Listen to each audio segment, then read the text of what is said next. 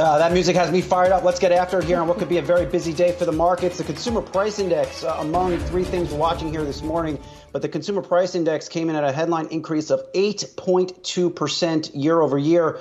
Core prices uh, rose six tenths of a percent, similar to the gain in August. And most importantly, outside of the optics of these uh, hotter than expected numbers, uh, guys, is you, you still don't get the sense that inflation is slowing. And uh, a good shout out or a good call out by Peter Boockvar over at Bleakley, uh, an immediate reaction to these numbers, calling out that the peak Fed funds rate for uh, April of next year now bumping up against 5%. So the immediate read here, why you're seeing stock futures down, the immediate read here is perhaps the Fed is going to have to stay more aggressive on raising interest rates perhaps a little bit longer than many people on Wall Street expected. I mean, really, this just seems to be a confirmation of the 75 basis points that the market was also already mostly pricing in for the next meeting. I want to dig into this a little bit uh, and look at where the inflation was coming from, because I think it's important, Brad. It wasn't coming from energy. We know that, right? We saw a drop in energy prices overall of 2.1%.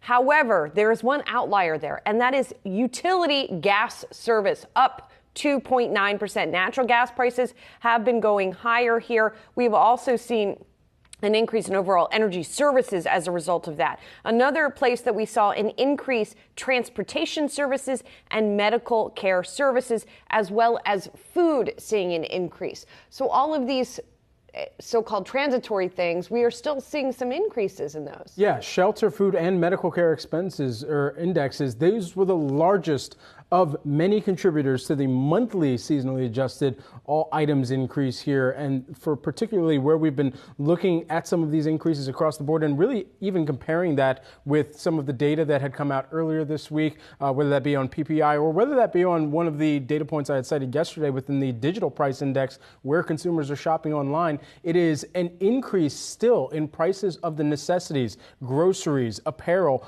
and then on the other discretionary items that people, companies rather, are just trying to churn through and people are looking at a heavy promotional cycle, that's where you're seeing some of those decreases start to trickle through more largely in electronics and things of that nature. But again, this really spells out what is still very present in front of us and pressing in terms of the necessities still being at elevated levels and continuing to nudge up. And so that's going to be the larger question of when we actually start to see the deceleration, not just the deceleration, but also the declines that the Fed is looking for too.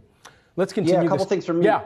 Yeah, the, I was just going to say the the, the 10 year uh, highest at, uh, since 2008, the 10 year yield, very important. Look, we talked to PepsiCo's CFO, Hugh Johnston, yesterday. Uh, he said he's raising prices in the fourth quarter. Again, they rose prices, raised prices third quarter, did it in the second quarter, did it in the first quarter, not getting any sign from corporate America that they're going to suddenly pull back on price increases because the Fed is out there raising rates. I also know, too, November 2nd Fed meeting now is looking a lot more hawkish, not good for the markets. All right, great point there.